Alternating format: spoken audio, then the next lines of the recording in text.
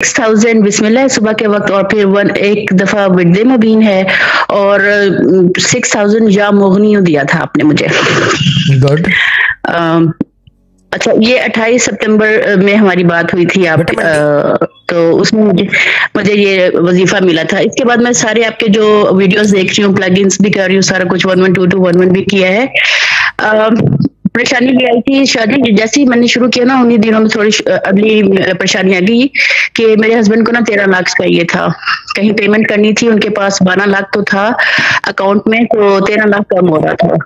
तो हमारी एक फैक्ट्री सेल पे लगी हुई है, जिसका ना आ नहीं रहा था तो वो हर किसी से पैसे मांग रहे थे कि जैसे मेरी फैक्ट्री सेल होगी तो I will give you back तो मुझे अभी देने हैं। लेकिन वो टाइम करीब आता जा रहा था सिक्सटीन को उनको चाहिए थे पैसे तो बिल्कुल एक दिन पहले तेरह लाख मेरे छोटे भाई ने ट्रांसफ़र कर दिया और इतने स्मूथली इतनी आसानी से बिफोर टाइम ये काम हुआ कि मेरे हस्बैंड अभी तक हैरान और परेशान है कि कैसे हो गया।